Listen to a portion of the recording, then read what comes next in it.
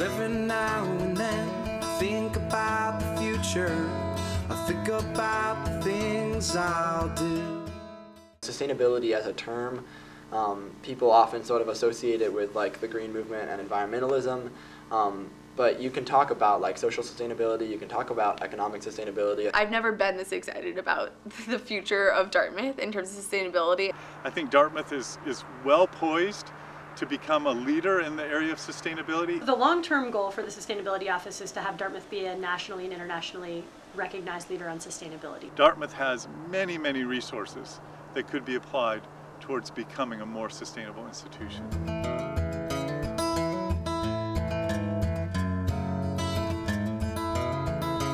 53 Commons has actually been probably the biggest innovation in dining services that we have had. I spoke to um, someone that works in 53 Commons who'd worked in other food services, and he said, you know, I, have never worked in a commercial dining facility or in a campus dining facility that has this little landfill trash coming out the other end. And so that's an incredibly huge step that DDS has made that a lot of people don't know.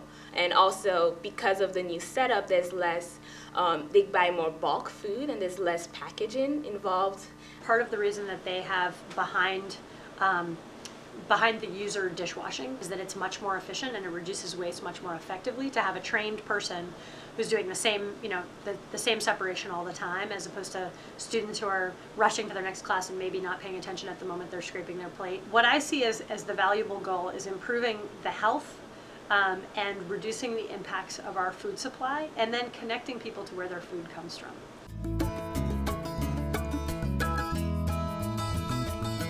The primary goal and motivation for starting the farm was for people to begin to understand more clearly their connection to the planet, the workings of the planet, the flow of resources and energy through the planet, and that being represented by our relationship with food.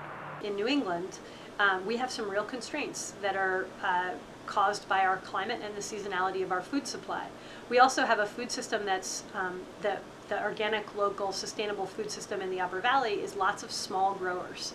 Dartmouth consumes an enormous amount of, for example, chicken um, in such volume and in, with such timing that it's very difficult for a local supplier to necessarily provide that chicken in, in the format and volume that we need when we need it. We also want to integrate this the, the idea of real food. Whether the food is local or not, it's supporting the workers and communities that it's coming from and that it's produced in an environmentally sustainable way.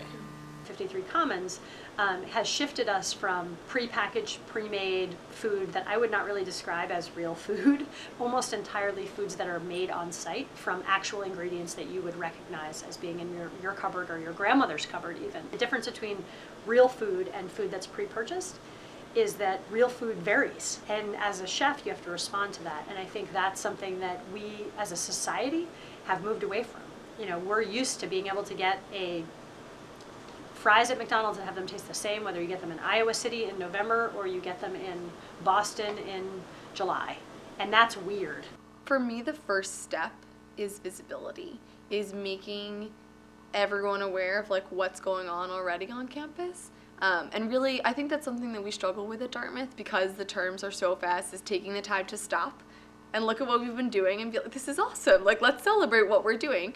And also just making it accessible as well. Those bins that we have up now with the signs that say, you know, put this there, put this there. And obviously not everyone follows, but the people that maybe this isn't this isn't their personal life choice normally, but it's right there in front of them, you know, it's, it's made very accessible to them. If people don't care about food and if they don't care about sustainability and if they don't care about where their food's coming from and how it was produced, it's going to be pretty hard um, to make changes and to make those meaningful changes. There are a lot of other people right now actually in the sustainability office. They have some, some plans to like have it printed on your cup, say like mm -hmm. I am compost or mm -hmm. I am landfill or I am recycling, you know, which would just like solve the problem. mm -hmm.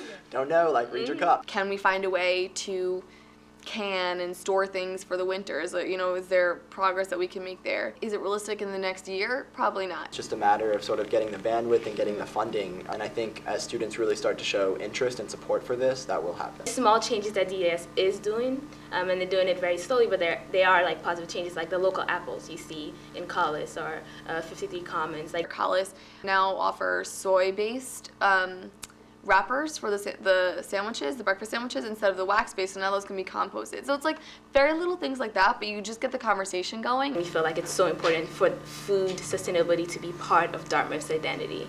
When we talk about this idea of culinary pride, it's this idea of making the campus aware of some of the stuff that DDS is doing. They do a great job of trying to purchase as many vegetables as they can that are local. So we'll buy through Black River Produce, um, Upper Valley Produce. They do a good job of trying to really push or promote like local food purchasing.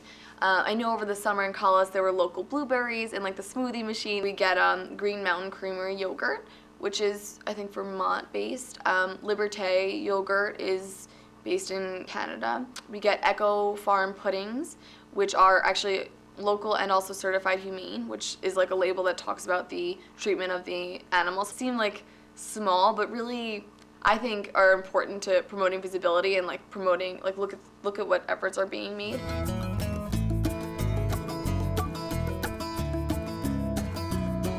Sustainability is not going to be free. Dartmouth Dining Services is, is, its own entity. It's separate from administration, it's separate from the college, it's its own business. Any change to any institution or society is expensive. They need to make a profit to be able to run. Can't just wake up one morning and say, now we're going to be sustainable. A significant barrier to real food is um, bringing us to a place where we understand how to interact with real food, where food service professionals are prepared to cook real food from real ingredients. The amount of food that they need to purchase and within like certain time periods is ridiculous. Like something that we as students don't can't fathom, you know, how much food is actually coming into you know, make make sure that we have dinner, you know, and, and a ton of dinner options. One of the problems that we've identified is that there's a very sort of short student memory. Um, because of our, our very short terms and people's D plans changing, there's not very much consistency within a lot of student groups on campus. But compared to the institutional memory um, of Dartmouth, which is much longer, uh, the sort of student input on that has an ability to fade. There have been really cool like farm to school, farm to Dartmouth programs. The program doesn't really exist anymore because the, the funding ran out and the students who sort of pushed making it happen in the first place aren't here anymore. There is, in fact, um, a, a very large, serious process beginning to help make the college more sustainable. One of our big things is this idea that the world's problems are our problems. Like, it's a problem, and so it's about realizing that we need to also internalize the fact that the food system is broken, and we are the ones in position to fix it. How can we work together, the consumer, Dartmouth in this case, the local grower, and the end user, the student, um, or faculty and staff who are eating and dining services to, to develop a much better system. That's really what we're after. And I just love it if students could just take the time to just say, okay, that's recyclable, that's compostable, and that goes into a landfill. Taking a spork, which seems so small and so silly, but I, like think about the number of students who go into college and take a you know, take a disposable fork, take a disposable soup spoon. Or even if they just grab something through like running through a dining hall and think about where it came from. I think uh, just the act, the simple act of thinking about it, and you know, everybody can think about it, um, would make a huge difference. I'm not going to see huge, huge changes by the time I graduate. Um, there'll be little things that I will, you know, be very excited about. Dartmouth is truly well poised to make a significant change. President Kim said himself that he wants that we want to be the greenest college in the world. It's something you have to work at, and the more you work at it, eventually it becomes more systematic. But on like a bigger, bigger picture, I think it wouldn't matter what the one thing was, as long as like every day, one individual, as an individual, you're making one action and thinking like consciously, I'm doing this for a healthier me, a healthier planet, a healthier environment, and like a more holistic Dartmouth community and community as a whole. Woke up in London yesterday, found myself in the city near Piccadilly. Don't really know how I got here. I got some pictures on my phone, new names and numbers that I don't know.